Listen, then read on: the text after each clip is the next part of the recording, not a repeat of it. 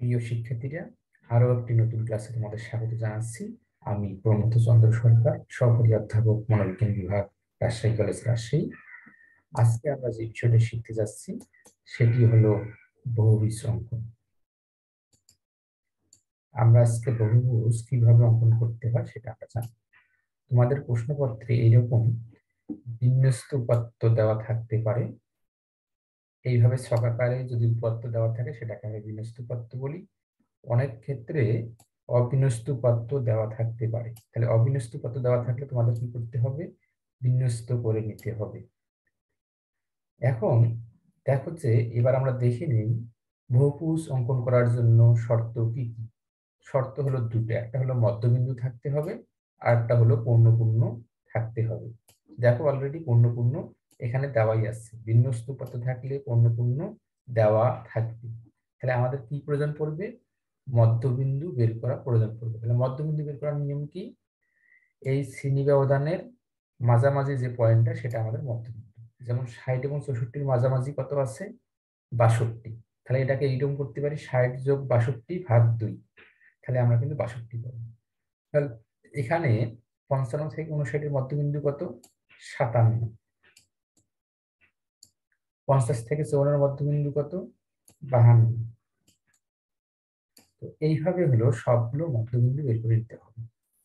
যে কোনো গড় মধ্যমা প্রচুরোপ করি অথবা অন্য কিছুই করি না কেন, প্রথমত আমাদের তাকাতে হবে ওই জিনিসটা করতে গেলে শর্ত কি? শর্ত শুধুমাত্র দুইটা, একটা মধ্যবিন্দু এবং পূর্ণবিন্দু। সুতরাং এই জায়গা থেকে আমাদের প্রথমত মধ্যবিন্দু বের করে নিতে হবে। তাহলে কি করলাম? মধ্যবিন্দু বের করে নিতে হবে দ্বিতীয়ত স্কেল ঠিক বা পরিমাপক ঠিক করে নিতে হবে যে এক্স অক্ষে এক ঘর সমান আমি এক শ্রেণি ব্যবধান ধরেছি আর ওয়াই অক্ষে এক ঘর সমান এক পূর্ণ পূর্ণ ধরেছি। এরপরে কি?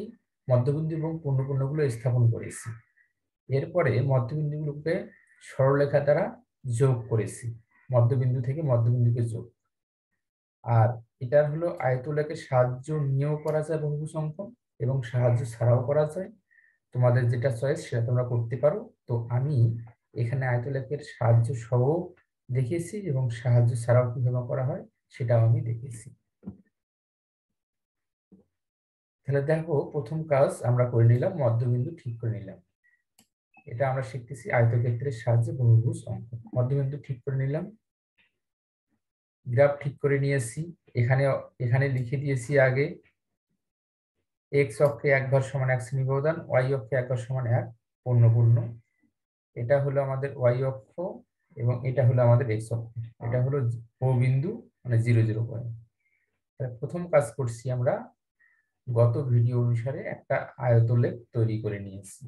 তারপরে দেখো, এই যে এই বিন্দুটা,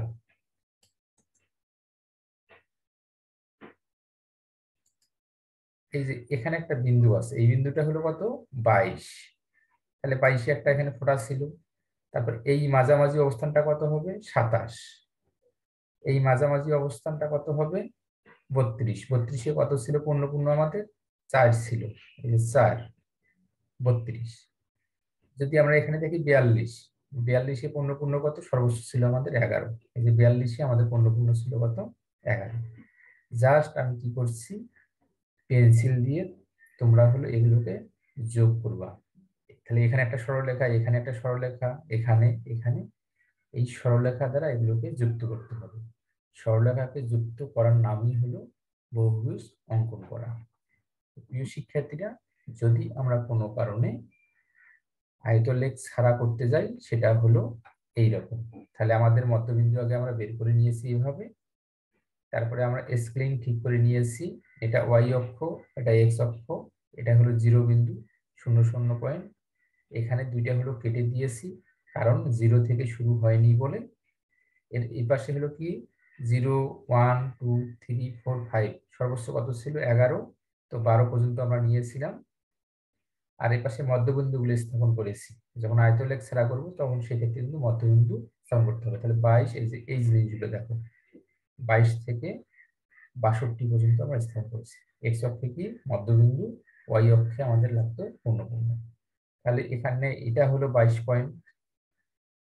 তারপরে সাতাশের ক্ষেত্রে হলো তিন, এই যে সাতাশের ক্ষেত্রে তিন, এটা একটা পয়েন্ট। বত্রিশের ক্ষেত্রে ছিল কত?